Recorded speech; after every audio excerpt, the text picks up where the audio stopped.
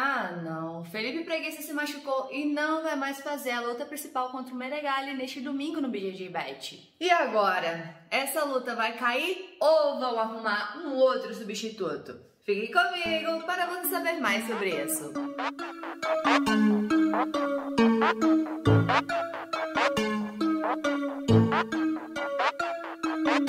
Dia 1 de agosto teremos o BJJ Bet. E a luta principal seria entre o Nicolas Meregali e o Felipe Preguiça. Essa luta era muito aguardada durante muito tempo. Iria pegar fogo. Porque o Preguiça é o rei do kimono, o número um peso por peso. Mas o seu rival de longa data estava muito motivado para levar essa vitória e voltar para os tatames em grande estilo. E estava saindo faísca entre os dois da internet, principalmente após os posts do Meregali mostrando a vitória que ele tem sobre o Felipe Preguiça. Já falei sobre essa treta aqui no canal, assiste lá. E a torcida estava muito animada. Tim Magalu, Tim Preguiça.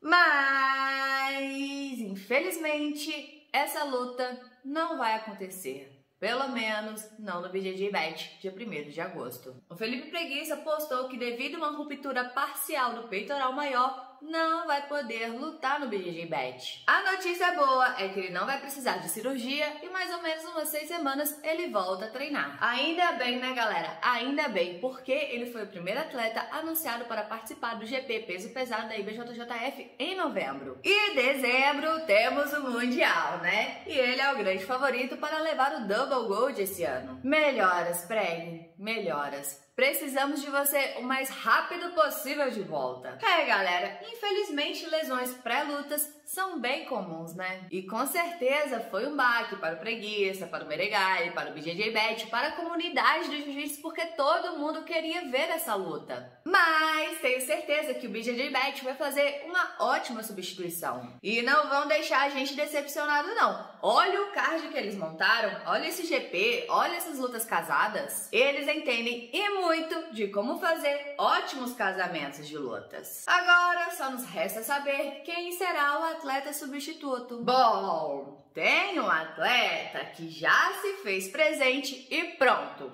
Adivinha quem é? Herbert Santos. No post do BJJ Bet anunciando que o Felipe Preguiça não estaria mais lutando, ele comentou dizendo: O pai tá aqui, tá? E galera, realmente seria uma ótima substituição, não seria? Já deu treta entre os dois, tem uma grande rivalidade e o Meregali venceu a luta que eles fizeram. E com certeza, o Meregali era um dos nomes que estaria na lista do Herbert Santos, que ele até falou na entrevista com o FEPA antes do BJJ Stars, que ele quer enfrentar alguns atletas que venceram ele ultimamente. E o show com esses dois estaria garantido. E aí, vocês acham que seria uma boa substituição ou não? Tem algum outro nome que vocês acham que seria melhor?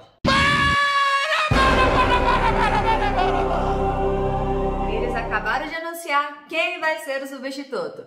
Não, não vai ser o Herbert Santos. Mas vai ser o Raider Zuck. Quem? Who? Ou Rider Zuck. Não sei a pronúncia, foi mal. O Raider, galera, está vindo de uma sequência de sete vitórias e ele venceu na luta contra o Moicano no Big Deal Pro.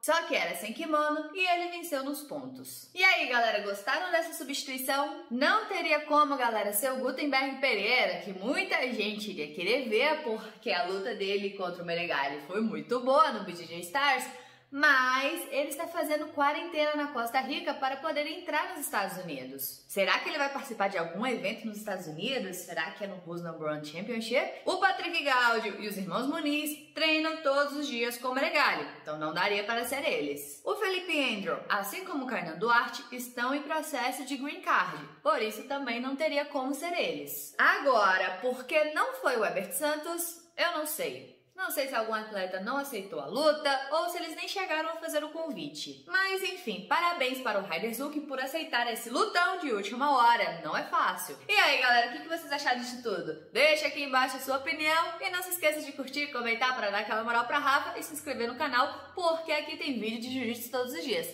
Todos os dias. Então valeu, galera. Ficamos por aqui. Tchau, obrigado. Tudo de bom.